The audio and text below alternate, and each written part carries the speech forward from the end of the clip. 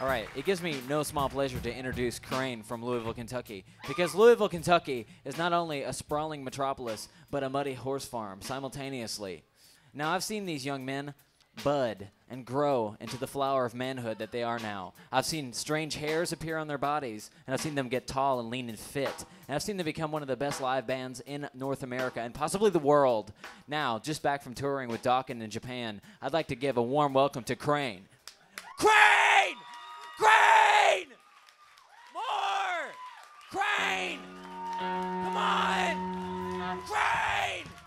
Louisville, Kentucky's Crain! Yeah!